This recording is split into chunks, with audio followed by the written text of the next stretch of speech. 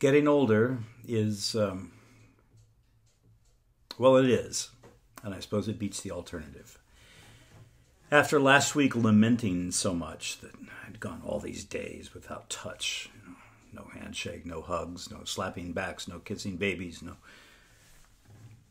How strange it is that uh, today I realized that my tooth was not getting better, that I needed to see a dentist, and that all the touch that I got today was from dentist who's very good, but anyway, and uh, and from his uh, his uh, assistant, who had their hands all over my face and all over my mouth. And tooth number thirty-one back here will receive a permanent crown next week. It's got a temp on it at this point. So today, instead of singing for you, especially since half my tongue still feels paralyzed and I can see that a bit of my mouth is still droopy, today it's a story about look out, be careful, don't ask for something if you really don't want it.